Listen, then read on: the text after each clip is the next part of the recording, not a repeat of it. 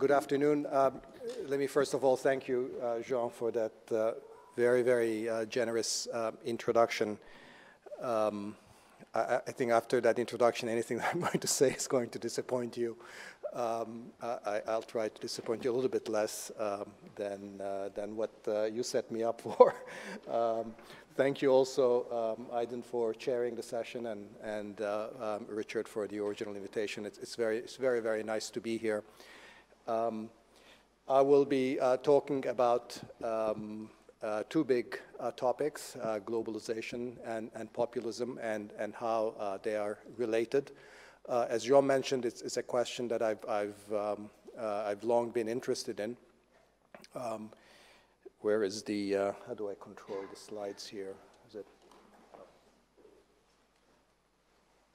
Thank you. Um, it is, um, uh, populism, of course, has, has come to the forefront uh, in 2016 with the election of Trump and with the Brexit vote. Uh, but I think it, it, it's, it's, fair to say that uh, the undercurrents of um, uh, the populist backlash um, have been around for quite some time. This is one way to, to, uh, to see it if you simply look at the vote share of parties that are conventionally categorized as, as populist. Uh, if you look at their vote share, uh, it's something uh, that has been uh, actually increasing since the 80s and 90s. So in that sense, um, we should not have been surprised necessarily uh, by what happened in, in 2016. Um, so th this picture uh, suggests essentially two things. One is that um, this is something that's been going on for a while. It's not just the um, the Great Recession or the global financial crisis or the euro crisis, although without question that has um, aggravated uh, the pressures. Um, it also suggests that this is um, uh, quite a, a, a global uh, phenomenon, that it's something that's really going on that cuts across countries. So uh, I think we need to be uh, skeptical about explanations that rely too much on the specificities uh, of a single country. I think this is especially true in the country that I come from, in the United States, where I think, um, uh, without diminishing uh, the ex extremely important role that the racial divide plays, I think there's an excessive tendency to emphasize um, uh, racism and the racial divide in explaining uh, the, um, the, uh, the rise of Trumpism and similar forces. Um, uh, when one looks at, at, sort of very similar um, movements afoot um, everywhere in a lot of other countries where the divides uh, tend to be somewhat different. Um, so I want to, to really do um, two things uh, in my talk. Um, one is uh, to suggest that um, you know, I was less prescient than Jean made it sound. That is that when back in 1997, when I wrote Has Globalization Gone Too Far and talking about the tensions uh, that are going to, uh, that were going to potentially uh, erupt. Um, I was looking into the future, but I was also, I think, um, very solidly based on uh, what economics teaches. Um, and I think I'm going to suggest to you that we should not have been surprised just from the perspective of, of very standard economic theory, what it says uh, about uh, what the advanced stages of globalization and the kind of divisions that advanced stages of globalization spawn. So in a, in a kind of you know, odd way, you know, sort of economists always want to take credit, you know, even when, you know, sort of for, for even for the wrong things or for the bad things. So in a way, I'm going to be stealing a little bit of credit for the economics discipline in the rise of populism uh, in, in, in a lot of, of what I'm, I'm going to be uh, uh saying. But I think I, uh, the second thing I want to do is also underscore that, uh, that you can't simply understand what's happening uh, uh, uh by focusing on the economic anxieties or the divisions that globalization uh, has spawned. Uh, you have to also understand what I call the supply side. that is in my, in my very simple story. globalization is the result of sort of, of, of, of divisions and anxieties, economic difficulties, um, uh, that then get framed on the supply side by uh, prevalent, uh, uh, by prevailing cleavages and prevalent framing, often in cultural terms, by political entrepreneurs, by parties, political leaders. And, and that, will ask, that will lead me to ask the question, uh, why is it that this framing, uh, even if the underlying cause, uh, that, that background economic conditions are similar across countries, why is it that this framing um, uh, uh, has taken different forms uh, in, different, in different kinds of countries? Um, and I will, in particular, focus on the, the left versus right-wing populism uh, in, in, and their different framing in different countries. So that's, uh, that's, that's the agenda. Um, uh, the uh, globalization um, has you know, almost always caused kind of, of, of backlash uh, at different uh, stages in history.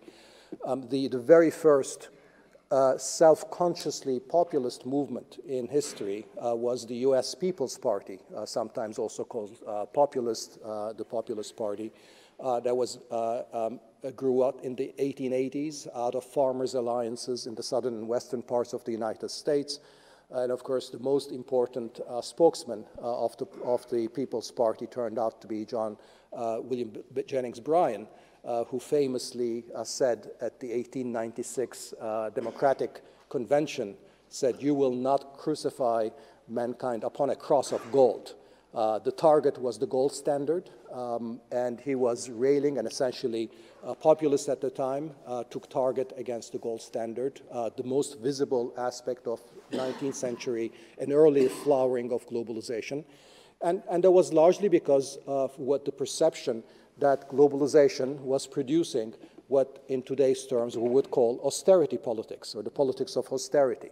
Uh, that it was causing uh, price deflation, uh, farm prices were low, it was causing relatively high real interest rates, uh, resulting in very large debt burden on the part of farmers, and it was privileged, it was promoted uh, by a sort of financial interest in New York and the northeastern parts of the country. Uh, that then became the cleavage uh, which the populists um, tried to, to, uh, to target. And even though um, uh, the populists then did not get very far in politics, Bryan himself was never got elected president, um, in large part, in some part at least, because uh, farm prices recovered as uh, uh, gold prices fell. Um, and, uh, but many of the ideas of these early populists eventually became part of the um, uh, policies of the United States through the progressive era and ultimately actually in the new, uh, in the New Deal with much greater business regulation. And it was eventually FDR that took uh, um, uh, um, the United States out of the gold standard uh, to reflate the economy. Um, so history clearly suggests this link. Um, between um, globalization and, and, and, and, the backlash. What I want to focus on, though, is, is what uh, economic theory uh, says to explain uh, this link, uh, this, this, uh, this linkage. And I'm going to focus mostly on, on questions of, of trade and, and, and trade economics, but I'll say a little bit about financial globalization as well, uh, which indeed plays a big role. so um, what does economics actually say about globalization? first, with respect to the distributional impacts of trade. Uh, you know, there's, when, whenever we teach trade, uh, we say uh, essentially um, two things. Uh, we emphasize the first one a lot more than the second one. The first one is that there are gains to trade. Countries that open up to trade um, experience an improvement uh, in the overall level of standards, the economic pie expands.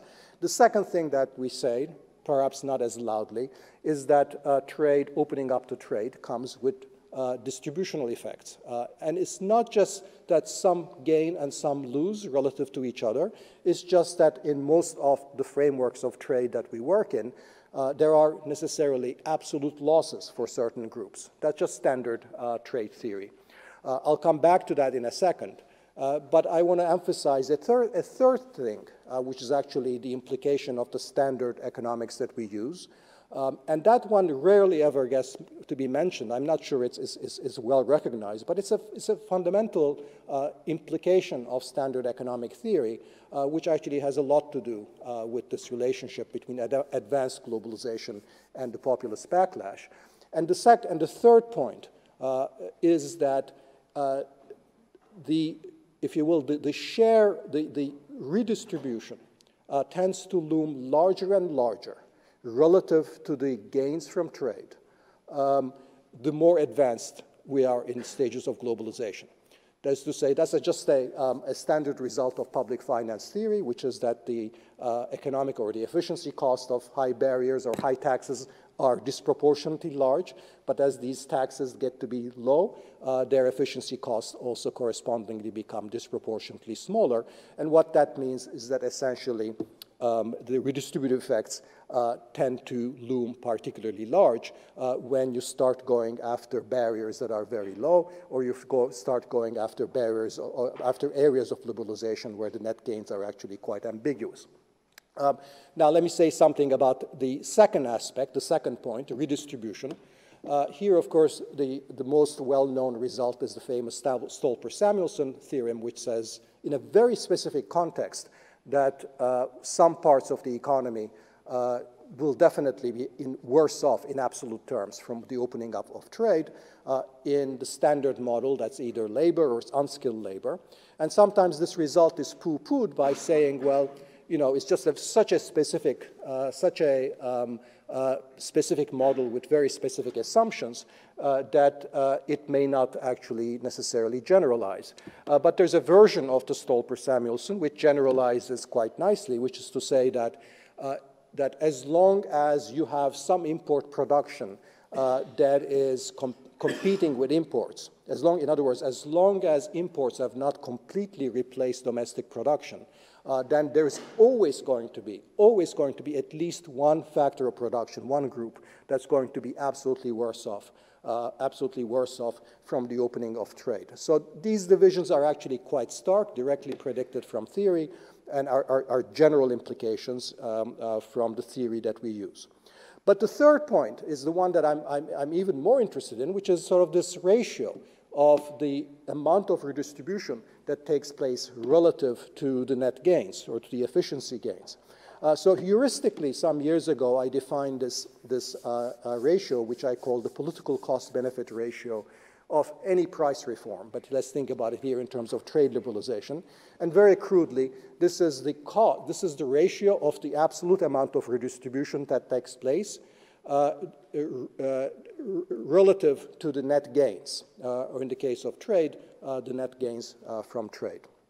Um, so, uh, the, as I said uh, earlier, uh, the implication of what I said earlier, that redistribution tends to loom larger as the barriers that we go after tend to become smaller, is that this ratio, the PCBR, rises as trade liberalization tackles progressively lower barriers. Um, and the reason for that, as I indicated earlier, is, has to do with this um, nonlinearity um, of, the, um, of the economic uh, uh, gains from liberalization. Uh, and that small liberalization, liberalization of small barriers actually tend to produce uh, a much more, um, a much more important distributive effects relative to efficiency effects. Now, um, the uh, the, uh, this might seem just like a, a, kind of a theoretical point with relatively uh, small empirical uh, import. First, uh, just to give you a sense of how large the magnitudes uh, involved are, let me run you through simply the results of a couple of numerical simulations just to, to, um, to get you to think about what the magnitudes of redistribution we're talking about relative to efficiency gains, uh, just so that we understand why sometimes trade liberalization or globalization can be so politically uh, uh, uh disruptive. Uh, in the simplest partial equilibrium uh, presentation of the gains from trade, uh, where we're opening up the markets uh, and domestic producers lose and domestic consumers gain, we can simply calculate this ratio of the uh, uh distribution of the amount of redistribution relative to efficiency gain. Uh, it turns out that it depends on three parameters. Uh, the, um, the share of imports in domestic consumption, uh, the price elasticity of import demand, and the size of the trade barriers uh, that is being eliminated in the first place. Um, and this ratio, as you can see from the last column of the table, uh, rises uh, from 5 when uh, tariffs are, I've made some uh, assumptions that go against me with respect to mu and epsilon, but when initial tariffs are 40%, that is relatively large, uh, this number is around 5. When we go to um, uh, tariff levels that are 10% or below, this ratio already reaches 20. Just think what 20 means. That $20 of income are being reshuffled in the economy across different groups for $1 of net gain that is being generated. Uh, just, just implication of, of the very standard models that we teach.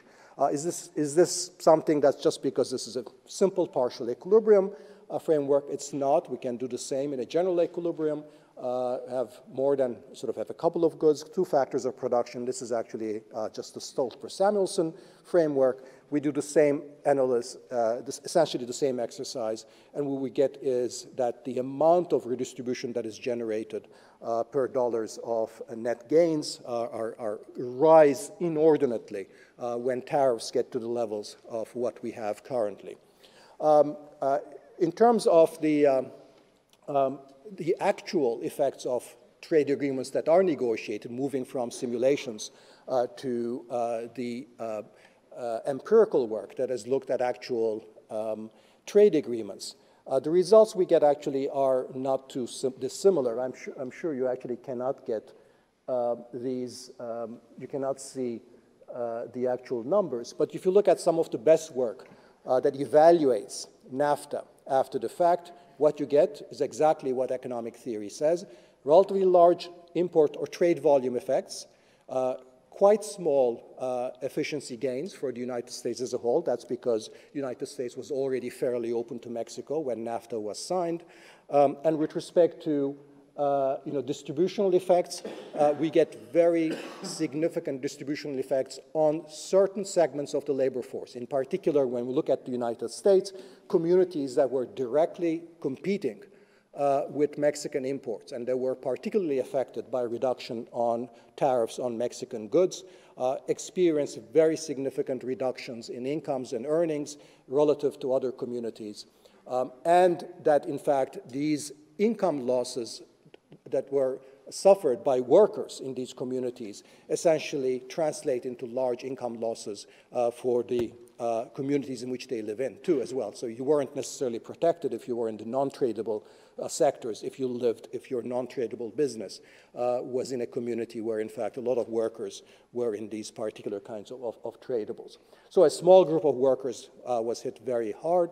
Um, there is similar and much better known on the implications of China's entry into the World Trade Organization, uh, work by David Autor at MIT and, and, and co-authors, uh, who find very large uh, sustained employment and wage effects in hard-hit communities, that is, communities that found themselves particularly um, uh, competing with, um, uh, with uh, Chinese imports. This new generation of work that is very much sort of driven by labor economists differs from earlier work that didn't find very significant distributional effects from trade opening. And I think the big difference with this empirical work is that actually it does labor, the labor economics of it very much more carefully. In other words, it distinguishes between local labor markets and the national labor markets. And therefore, there are additional margins of redistribution, which turns out to be very significant because labor markets, it turns out, even in the United States, are not as nationally integrated uh, as, uh, as, as one would have thought um, uh, uh originally. So this is the reason why this new generation of work on the distributional incidence of trade agreements is unco uncovering much deeper impacts uh, on redistribution than the earlier work, which tended to aggregate labor and just dealing between, let's say, two categories of labor, skilled versus unskilled, that didn't find uh, significant, uh, significant impacts. Um, so uh, the first point, therefore, is, is that we shouldn't be surprised because trade has very large distributional effects and these distributional effects become significantly large. Trade begins to look, trade agreements like even NAFTA, but more subsequently like TPP, uh, starts to look essentially uh, redistributive uh, arrangement rather than one that is uh, increasing the overall economic pie. The second point, uh, which uh, I had already emphasized two decades ago um, in 1997, is, and, and, and Jean alluded to this work, is that when we look at cross countries, one of the uh, interesting regularities we see uh, is that countries that opened up the most to trade uh, also were the ones that were the most generous uh, in terms of providing social insurance and the welfare state. Um, and that's why that's the case of Scandinavia or Central European countries that on the one hand are very open to trade, high degrees of exposure to trade, and also very extensive uh, welfare states. I've always interpreted this as kind of a sort of a flip side between the welfare state uh, and, and the open economy, that countries open themselves up to globalization, but in turn demand social insurance and safety nets, and uh, European countries have tended to provide these safety nets in the form of unconditional uh, access to a welfare state, unlike the United States, uh, which tries to deal with it in highly imperfect trade adjustment assistance mechanisms. Uh, but what has happened uh, is that, again, in the advanced stages of um, globalization, this link between exposure to trade um, uh, and safety nets begin to unravel. And we see this again most clearly in the United States because the United States is a relatively late uh, uh, opener uh, to trade. And the United States could have gone uh, the European route, uh, but it didn't. In, in, fact, the greater opening of the United States to low-income countries like NAFTA, like, like Mexico originally, and subsequently to China, took place in the context of fraying safety nets rather than more extensive safety nets. And we see the differences in terms of their political consequences that today, even today, despite the opposition to other aspects of globalization in Europe, uh, trade with low-wage countries is not a political issue in the United States, uh, in, Europe, I'm sorry. Whereas in the United States, trade with low-wage countries like Mexico and China is very much a political issue, and that I think is linked with the uh, much um, uh, uh, uh, thinner so social insurance mechanisms in, in, the United States.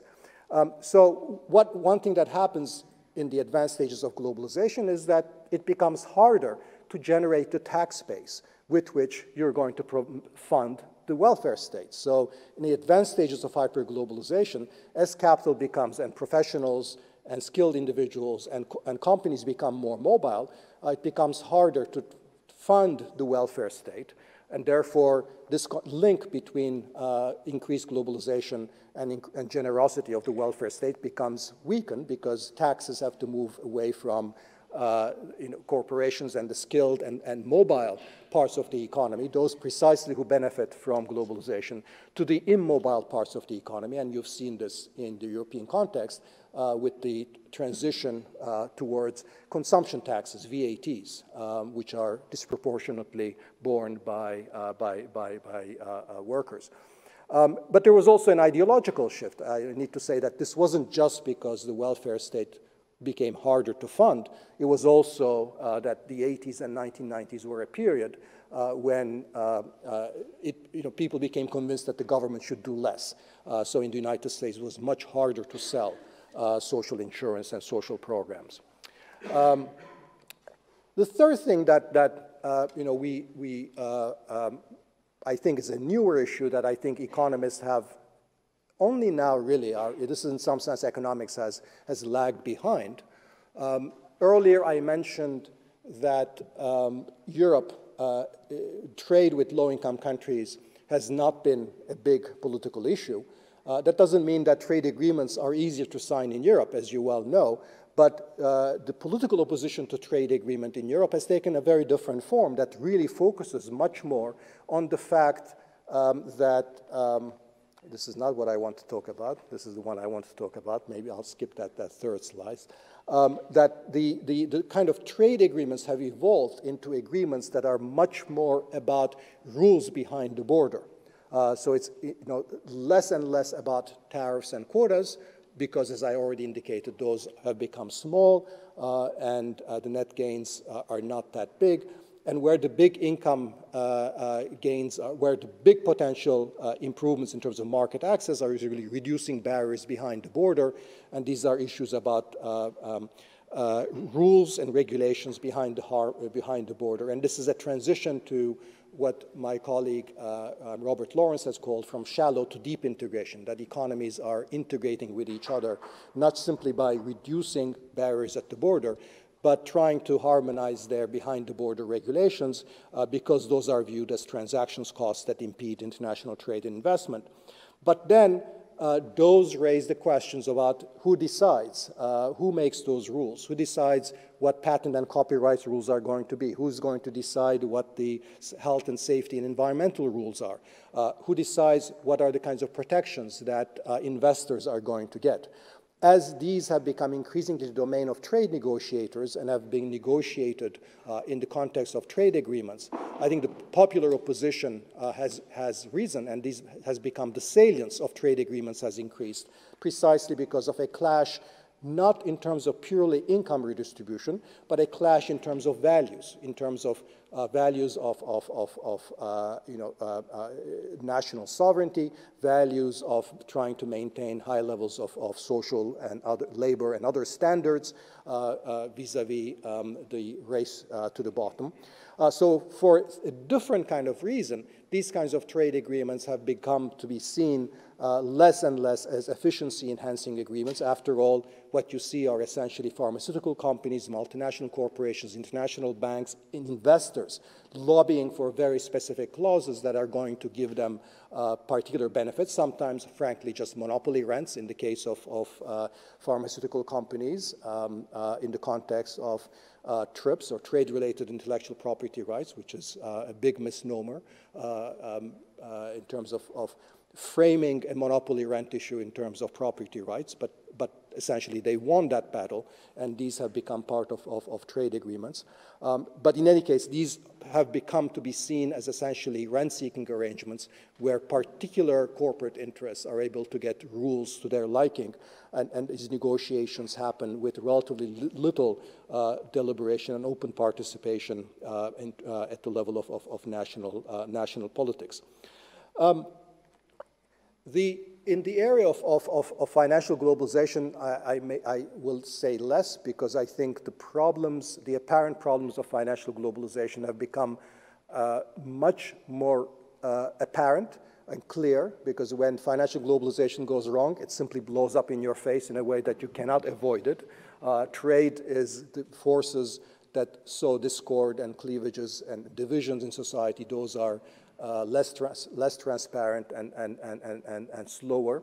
Uh, but the, in principle, of course, financial globalization presents very much the same kind of, of overall benefits uh, that globalization uh, has the uh, financial globalization in principle has the advantage that it would channel uh, savings to countries where returns are higher, enables intertemporal consumption, uh, and uh, allow, allows much better global, uh, global portfolio diversification. Those are the three, three uh, important economic benefits, uh, which was, um, uh, which was, was used as arguments for promoting financial globalization. And financial globalization essentially was the thing in the 1990s and, and, and later as, as, as capital controls and capital account regulations moved from being essentially the norm uh, to the exception and the, and, and, and, and the policies that needed to be removed. Um, I think uh, uh, there has been in recent years a significant uh, reevaluation of the benefits of financial globalization. Um, and, uh, and, and, and, this is reflected not just in international institutions as the IMF, but also in the economics profession uh, as well. And the standard argument there now of, of what essentially has gone wrong is, is a kind of second best argument, which is to say that, that um, you know, in principle, those benefits exist, uh, but financial openness as a way of interacting with and aggravating uh, domestic market distortions or domestic regulatory distortions uh, that results in rather um, uh, uh, uh unpleasant consequences.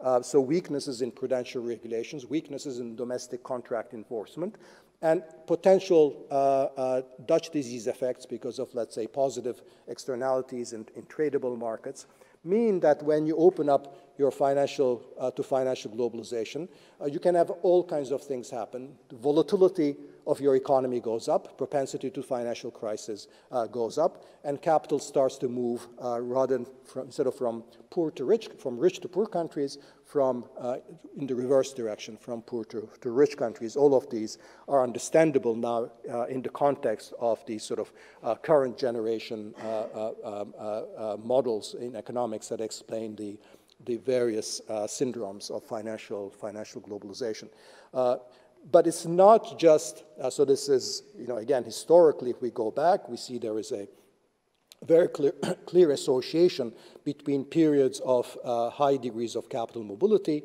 and propensity to financial crises. Uh, the gold standard was a period of uh, significant financial crisis. The, the, uh, the um, most recent period have been this, has been the same. Uh, there's more interesting work, recently empirical work, turning now to the redistributive effects of financial uh, opening or financial globalization. And this work comes out, interestingly, uh, out of the IMF.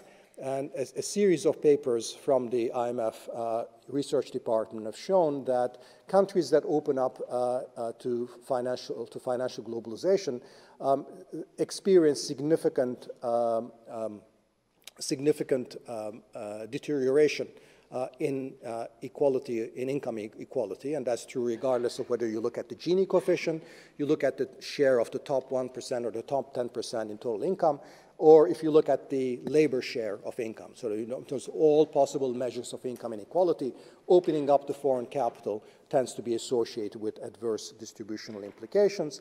Uh, there are different mechanisms that potentially have created this. Uh, of course, mobility of capital allows capital both to reap higher rewards as well as to shift the distributional incidence of shocks to the domestically mobile uh, uh labor, uh, but also global tax competition, the mobility, the competition of states and governments for globally mobile capital uh, has resulted in a global decline of corporate tax rates. Uh, the last round of this, of course, was in the United States, where the reduction in corporate tax rates were explicitly motivated and sold uh, as uh, the consequence of having to compete in the global market, that the United States had to reduce its corporate tax rates uh, in a global environment where other countries um, uh, had re reduced theirs. Uh, so the, the, explicitly the tax competition uh, argument.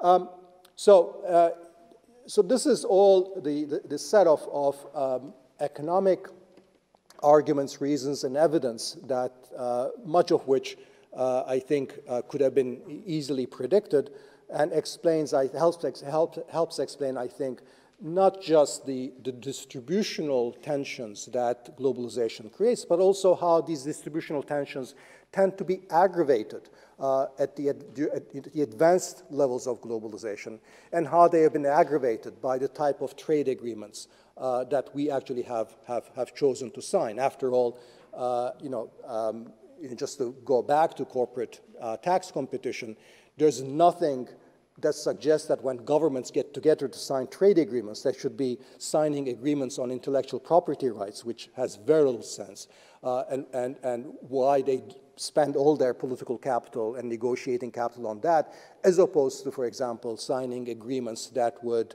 uh, um, reduce subsidy and tax competition for international capital, uh, where in fact the economic gains are clear. Um, and there is a clear uh, uh, inter-country externality that could be internalized through international coordination. Yet, of course, in so many rounds of, of international uh, trade negotiations, bilateral or global or regional, uh, this issue of uh, negotiating um, restrictions on global tax and subsidy competition on, on mobile capital has never really been seriously uh, um, uh, considered. So this is just an ex example of how uh, sort of it, it's, it's, it's, not just that globalization uh, is just a sort of a, a, a fixed given thing that has fallen on our laps purely by uh, advances in information and communication technology, it also has taken a particular form uh, that has aggravated uh, concerns about who's benefiting, who's writing the rules, um, and um, uh, uh, who uh, actually um, gets to sit in the negotiating table. So essentially, you can think about everything that I've said so far uh, as being largely the demand side uh, of populism. That, that, you know, that whether it's sort of income effects, whether it's the fears about the race to the bottom, uh, whether it's concerns about uh, uh, national autonomy, uh, these are, are essentially create a sense of not just economic anxiety and discontent and loss of legitimacy on the part of the elites and governments and raise fairness concerns, but these are, don't necessarily come with uh, explicit uh, culprits uh, or explicit narratives uh, about who is to blame and how to fix it. And I think it's the supply side of politics. Uh, in other words, the, the, complaints are there, the anxiety is there, uh, but it, it, it, doesn't come fully formed. Uh, it is inchoate. Um, I think you need the institutional and the supply side of politics to provide a frame, to provide an explanation. And that's what I think polit pol politicians, political leaders, uh, um, uh, and, and, and, parties provide. They provide uh, narratives, they provide explanations, and they provide remedies uh, that uh, help channel this discontent. And I think this is where the supply side of, of politics or, or, or the, uh, of, pol of, populism in particular comes in. I think essentially to, to, to, simplify, but I think to simplify in a helpful way, we can think of, of politicians, populist politicians, in in, in two different forms. Uh, we can think of them uh, essentially either exploiting a kind of an income or a social class cleavage. So you can think about going back to the original American populist. That was very much a kind of left-wing populism because the main cleavage, your main enemy, what is it that populists do? They claim to speak for the people. They claim to represent for the people. And the question is, who is the enemy of the people? So it's a question of where does the cleavage get drawn? Who is the people and who is not the people.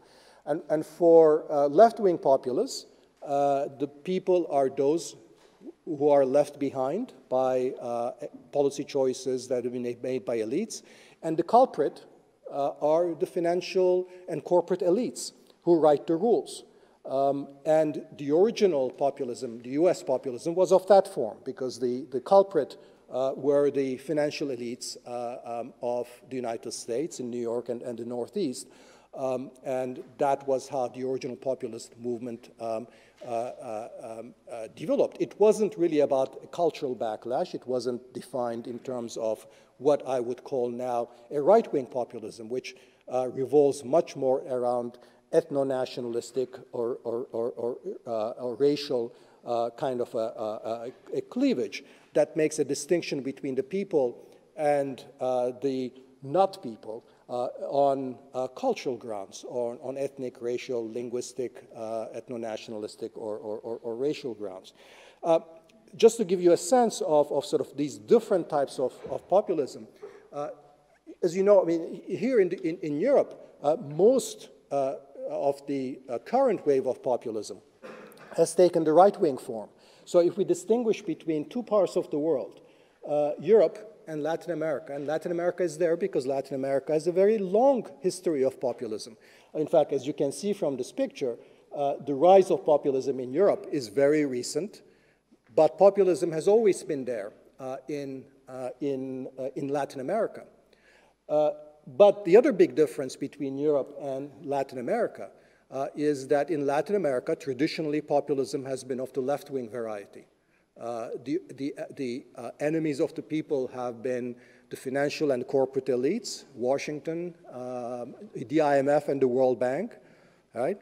Uh, that's the kind of, of um, uh, populism that's more associated with the few countries in Europe which have suffered from the euro crisis the most, such as Spain and Greece, where populism also, to a large extent, has taken a left-wing form, where again, it's in opposition to Brussels, it's in opposition to the European version of financial globalization, actually very similar uh, to Latin America. But in other parts of Europe, uh, as you can see, it's, it's mostly, it's, it's, it's, right-wing, uh, so it revolves much more around a kind of a, a, a right-wing or ethno-nationalistic uh, uh, cleavage.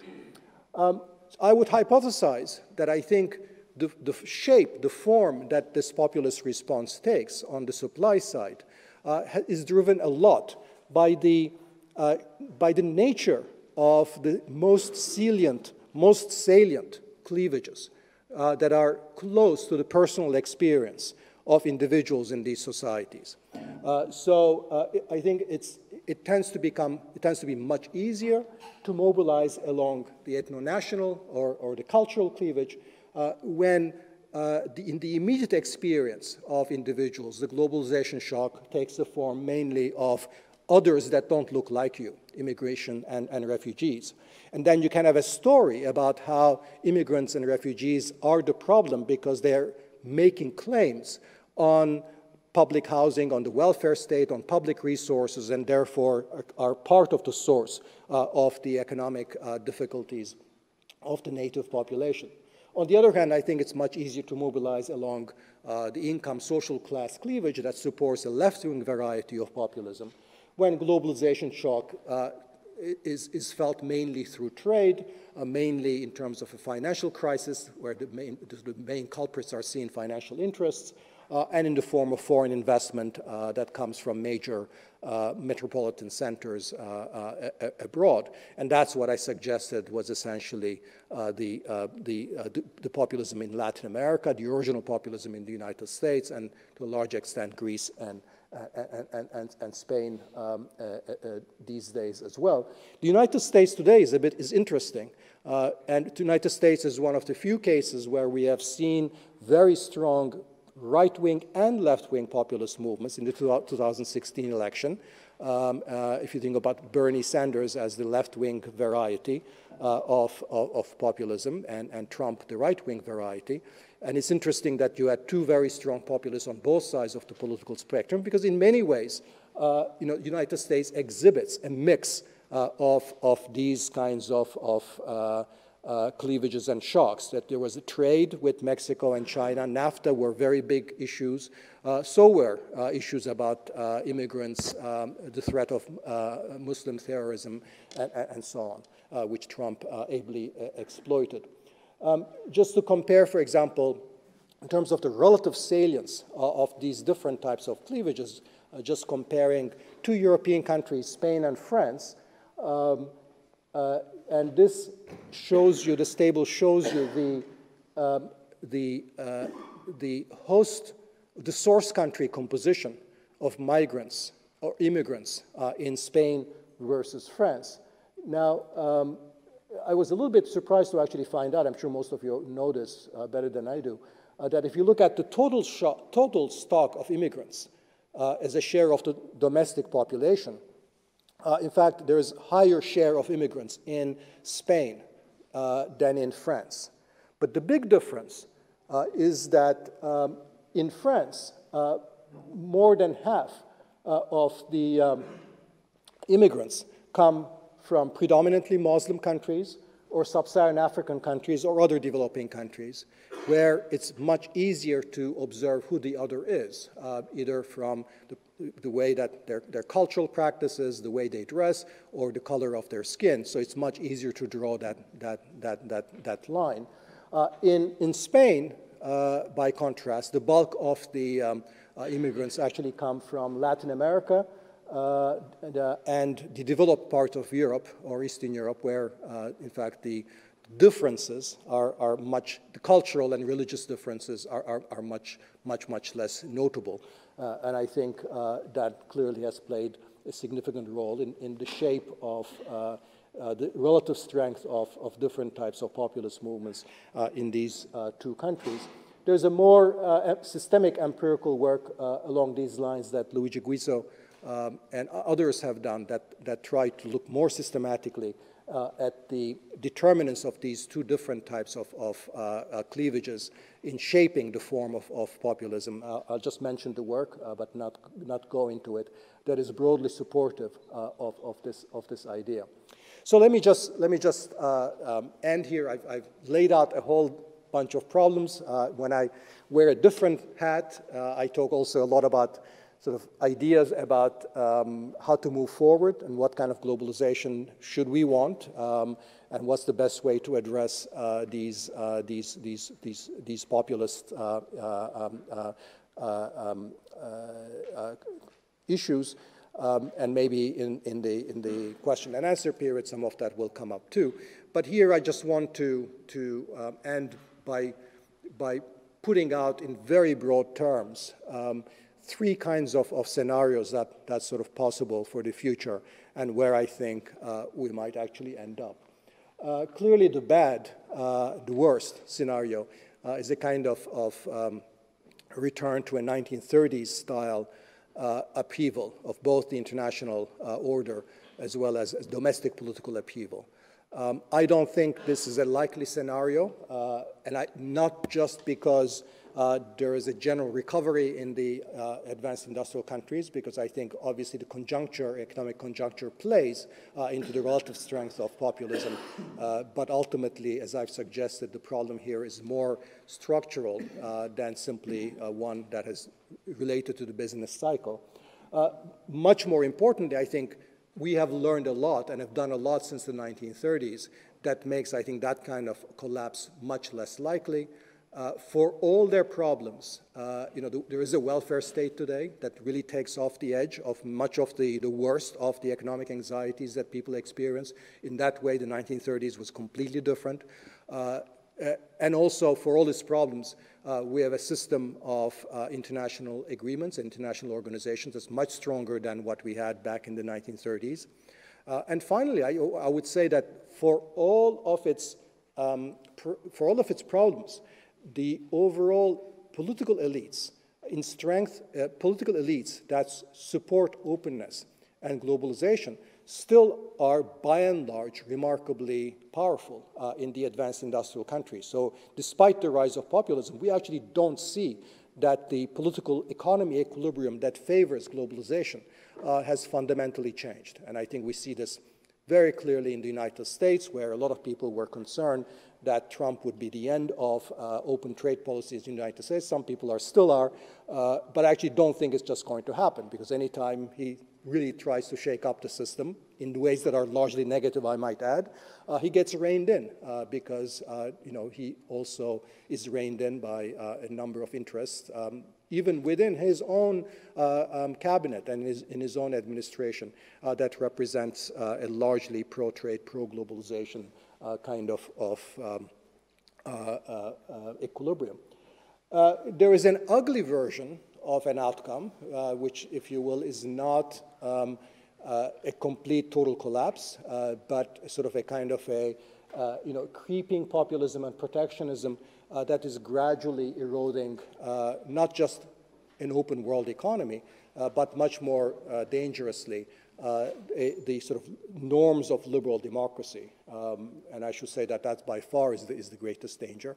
And I, I, do think that, that, you know, if we don't tackle our problems seriously, that this is a quite a plausible scenario that I, I, don't think that we can write this off, uh, despite what appears to be uh, perhaps not Italy with the elections uh, coming up, but what appears, you know, sort of outside Italy at least, a, a general sense that the populists might be uh, in retreat. Um, I would warn against complacency uh, on, on that front.